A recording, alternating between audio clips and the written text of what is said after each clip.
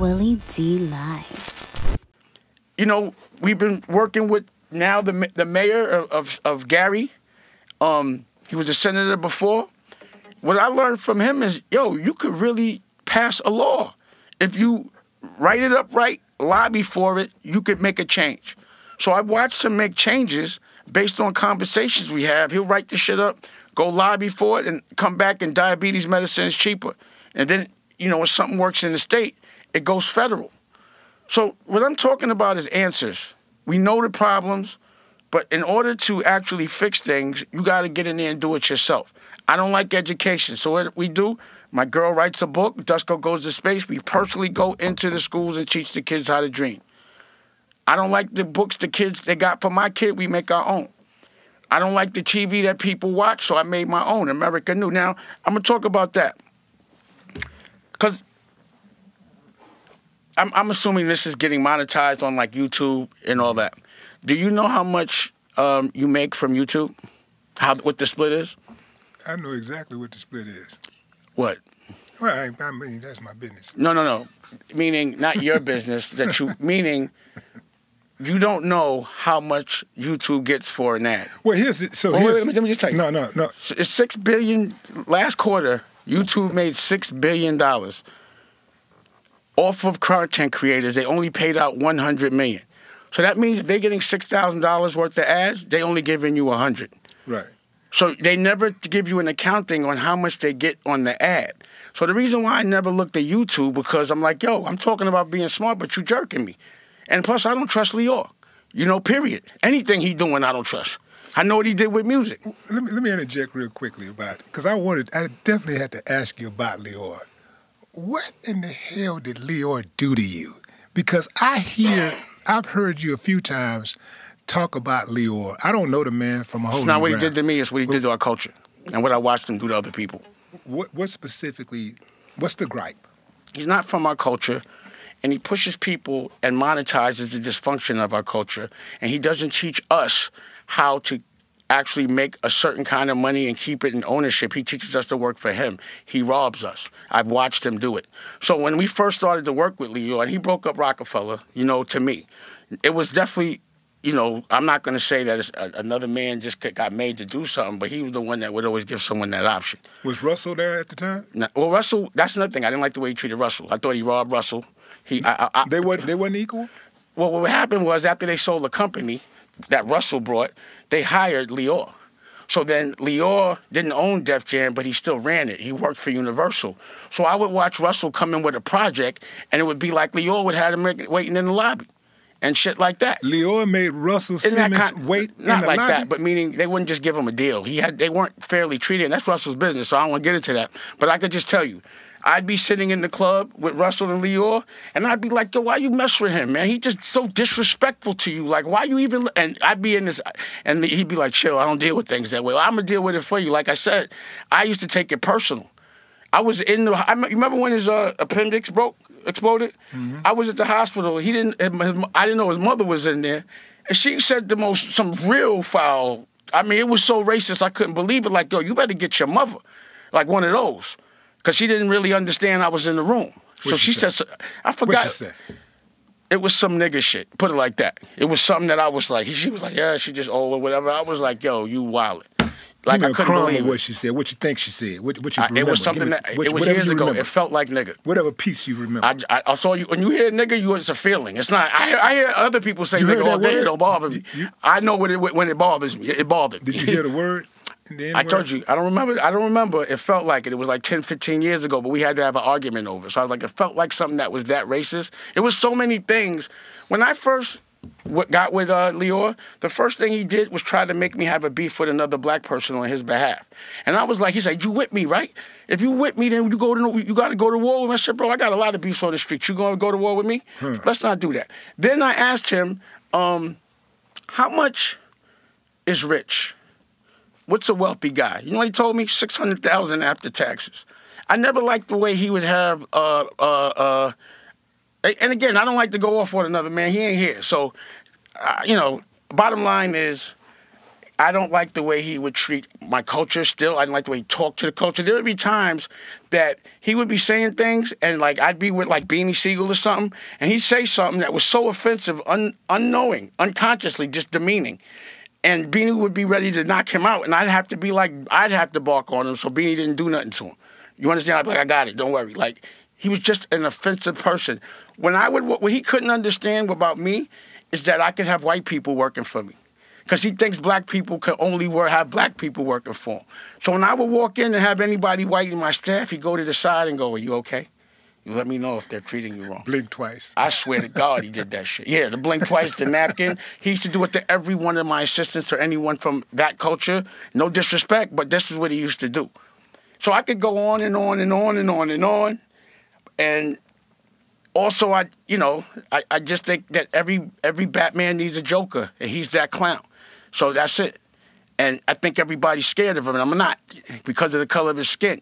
And I want to. It's like he's the poster boy for why you're scared of him. You know what I mean? He's that guy to me. I just don't like how he exploits our culture. And then when he got on the radio and tried to say, Who's Damon? And he actually got on the radio and said, Yo, I know what they're doing, but I got to eat. How could you like a man that would do that? I saw that interview on So then Club. why you don't have a problem with him? That would be my question. How could you not have a problem with that man? He's not from our culture. He eats off us all day and he makes money off our dysfunction. Why? And then trust them with YouTube? That's how they're killing us. So I, people aren't even conscious of how they pay out at YouTube or Tubi or any of those things. So what I did was, because I was like, I'm not a herd, especially if he's over there, it's not right. So I use YouTube for marketing, but I went and built my own network. And let's say YouTube gets the uh, ads from Pablo. I went around YouTube and I get the ads from Pablo. So instead of them getting that six billion, I get that six billion. If I want to split it with a creative, then they'll get three billion, I'll get three million. But it ain't gonna never be a hundred million to six billion. But I, I, I understand it because no one's asking. Does it make sense to get a, a million views and only make seven thousand dollars? That don't make no sense. So that means that if you, eh, eh, the way that I'm seeing things, if if any dollar anyone makes at YouTube, if you were really getting paid what you're supposed to, you would be making 100 times more, 100x, not 10x, 100x. So that's why I launched American New. And that's a real network, broadcast live. It looks like y'all doing a lot of stuff here, but you could get on it right now. And the, the, the, the ads are Nike and all that. So no one teaches us about the ads. They're just teaching us about how it feels to understand when people are viewing you and it feels good. And that takes the place of the money that you're supposed to be making, the fame it gives you, and no one's asking about why they're not getting no money. I'm, those are the questions I ask. This doesn't the, the breakdown doesn't make sense. Then I got to do an investigation. But I'm never going to be that Johnny. Like you're never going to be making me do all this work, and you're getting the lion's share. It's not. It just doesn't make sense. It's the same exact thing that happened in the music business. If there was robbery in the music business, anytime there's a new music, um, a new business, there's robbery. So you have to look for it. You could never think that on the internet and all this new money and BPMs and all of that, that we not getting completely robbed. No one's even asking. No one challenges the, the bust down or the split. No one says, let me see how much money you made off that Nike ad. They just want to know how much they're getting. I don't know how much you getting, so I'm not gonna do that. I got to know how much. And and when I work with my creatives, there's a dashboard. We made this much off a Nike ad. You get sixty percent, I get forty. Let's go eat. But I'm not gonna sit there now because my culture is creatives now. So now I'm gonna go put him out of business in blue in, YouTube too, because he can't make no more music because it's only, um, to me, his only business model was robbing niggas, and nigga meaning people that aren't smart not black people, people that are in a tight situation that will do anything to get out of it. And by the time they realize they've been robbed, they owe or they in jail. Your company is American New, right? You said That's my that's my family's company. That's your but that's the network, company. yeah. Okay, so I work for my family. do do when when someone wants to go search your company, how did what search engine do they use? to go on American New? What's typically like? Well, right, it just launched, so you could go on um, Fire Stick. It should be on Apple. It'll be on uh, Roku. Every But, single but to get to Roku, Roku uh, Apple, you mean going straight to, through their apps, well through their distribution. through their distribution. Yeah. But if somebody wanted to just look you up and say, "Let me look up American New," typically, what what search engine would they use? Maybe Google. Google, right? And Google owns YouTube, right? Yeah. So Google, anytime Google, this sounds like you would be a direct competitor to YouTube, right? To everybody. To everybody, right? But so, uh, I, so, I, so to if- YouTube, so a Tubi, a Tubi, But if- one of those. But if you're, it, let me put put myself over here. Mm-hmm. If I'm YouTube, if I'm Google, and I own YouTube, and I see a competitor coming off from the side, I'm running, and I see this competitor coming up on the side of me, and I got the power to do that, trip you, and get away with it, I'm gonna do it. If I got an opportunity to hit you with a boat, Yeah, but I'm gonna punch you in the back of your head. do it. You know, if somebody hit you in the back of the head for that, I'm not gonna just let that happen. but check this you know, out. you go boop, I'll be like, boop. And you I, know what I'm saying? And, So- I, and I, I, respect that, but I want you to tell me after I tell you this. I want you to tell me how you gonna bow me in the back of the head when I tell you, you, this. but- no, no, no, I'm not, no, no, no. We're, we're talking about. I'm not, you in the back of the head.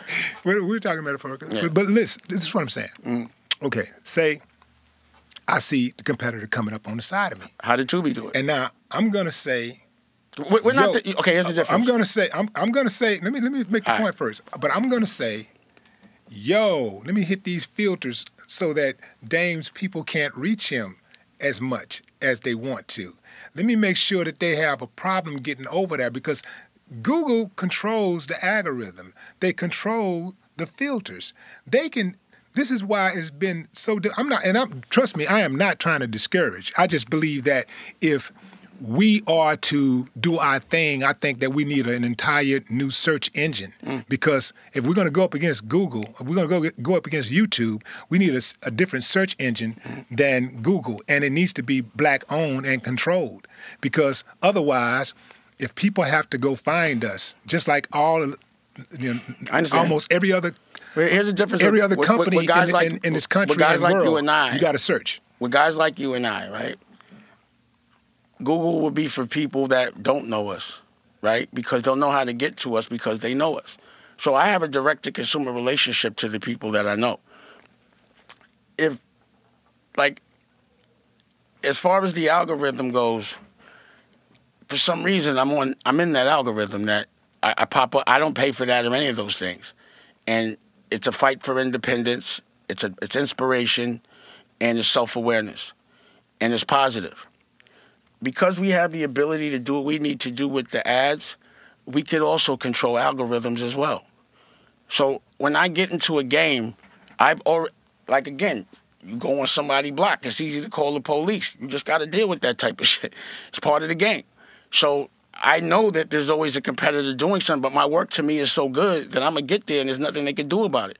I watch a Tubi, not a Tubi, who is there's no creatives over there. That's just a, an ad agency that put together and it- there's no genius there, and they went and got bought by Fox. Only thing that they would do is try to buy me. But the difference between uh, me and YouTube is that I'm not just taking any any work. Anyone could get on YouTube.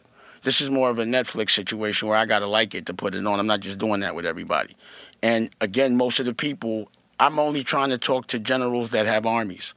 So I'm talking to people that have their own connect um, uh, uh, relationship completely with like a Billy Carson, a 19 Keys, a Earn Your Leisure, you know, people that already have made a community. We just got to all stick together and we make our own ra- algorithm that way.